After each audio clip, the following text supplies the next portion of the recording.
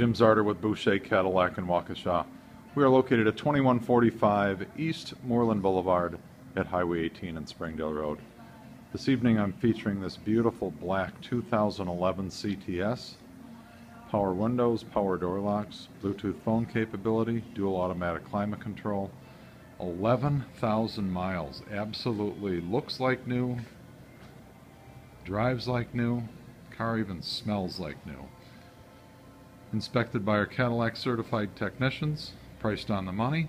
We do have 25 lenders we deal with to get you a great rate should you desire financing, and Boucher is a proud sponsor of many local charities.